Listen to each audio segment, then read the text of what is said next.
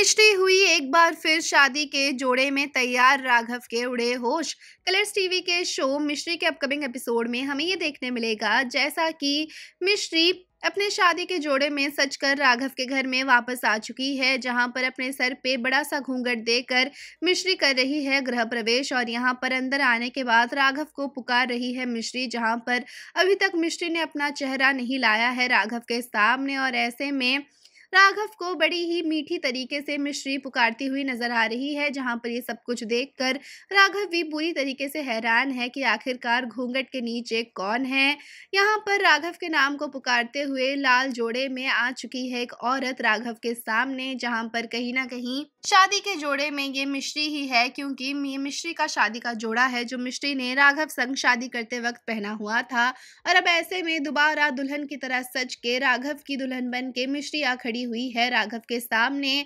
जहाँ पर राघव भी ये देखने के लिए इंतज़ार कर रहा है कि आखिरकार घूंघट के पीछे कौन है, जिस वजह से राघव सवाल पूछता हुआ भी दिखाई देने वाला है। वेल, ऐसे में ये देखना इंटरेस्टिंग होने वाला है कि आखिरकार घूंघट के पीछे कौन है। वेल, क्या होने वाला है आगे जानने के लिए जुड़े रहें हमारे साथ और हमारे चैनल को सब्सक्राइब करना ना भूलें।